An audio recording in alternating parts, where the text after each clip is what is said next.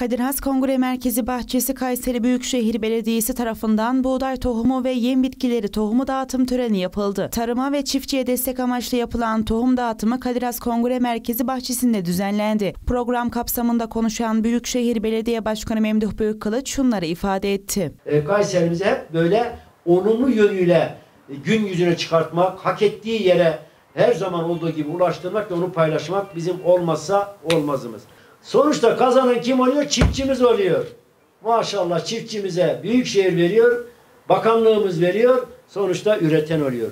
Üretmesi sizden, destek olması, dağıtması, vermesi de hem bakanlığımızdan hem bizden diyorum.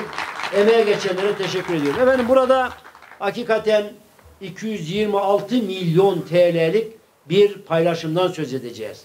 Bu çok önemli bir rakam. Hiçbir karşılığı yok. Tamamen hibe. Yani geri dönüşüm falan istemiyoruz. Koyun dağıtım yapmışız 215 bin aileye, 215 aileye inşallah 215 binlere de ulaşırız temennimiz. 4300 adet. Bu sene dağıtacaklarımız ayrı. Burada e, tohum desteklemeleri demişiz. Aspir, nohut, yazlık buğday, yem bitkileri, korunga, yonca demişiz. Arıcılık desteklemeleri demişiz. 2640 adet arı kovanı. Traktör alımı demişiz 11 adet. Tarımsal makineler. Şöyle makinelere baktım. Anıza ekim mipseri, sabit selektör, taş toplama makinesi, katı gübre dağıtma makinesi. Yok yok maşallah hepsi var. Kompost karıştırma makinesi, süt soğutma tankı, yem ezme makinesi, ayçiçeği patozu, balya makinesi, gacer buğdayı, un değirmeni ve benzeri. Hayvancılığa yüzde elli su desteği demişiz. Hayvancılık yapan kardeşlerimizi tabi e, TÜRKVET'e kaydolmak şartıyla e, o şekliyle 8 milyon TL su desteği vermiş Kayseri Büyükşehir Belediye'miz. Yine tarımsal üretim, deste üretim desteklemeleri demişiz. Aspir yağı soğuk sıkma tesisi, ay çekirdeği kurutma tesisi, sılaj paketleme tesisi, çömlek peyniri üretim tesisi, çerkez peyniri üretim tesisi, kadın kooperatif üretim tesisleri demiş. 3 milyon TL. Süt sığırcılığı tesisi demişiz. 400 başlık süt sığırcılığı tesisimizi Felahiye bölgemizde yaptık ve Kayseri şekerimize yaptığımız bir protokolle teslim ettik.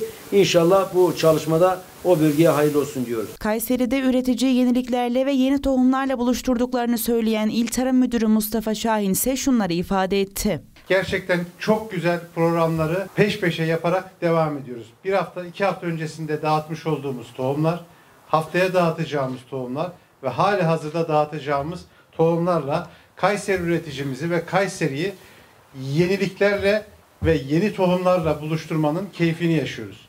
Kayseri Türkiye'de biraz önce e, başkanımızın da söylediği gibi Türkiye'deki en önemli tarımsal üretim merkezlerinden birisi. Üretim desenlerimizi değiştirmeye başladık. Kayseri birçok ürünle tanışmaya başladı. Geçmişte yapmış olduğu ama beraberinde unutmuş olduğu yazlık buğday 3 sene öncesinde tekrar hatırlatıldı. Biz artık bir metrekare alanı dahi boş bırakmamak için elimizden gelen tüm gayreti sarf edeceğiz.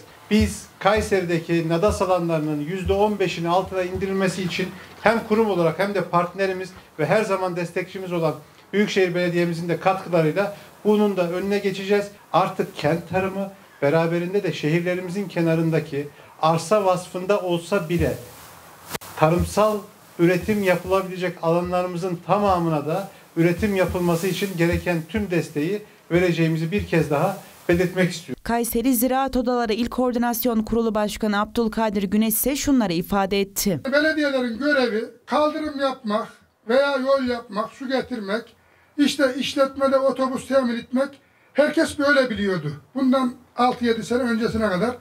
Ama şimdi çok şükür Büyükşehir Belediyemiz olsun, diğer belediyelerimiz olsun, çiftçilerimizin tohum ihtiyacını karşılıyor arazi yollarımızı yapıyor, kapalı sistem sulama projelerini yapıyor,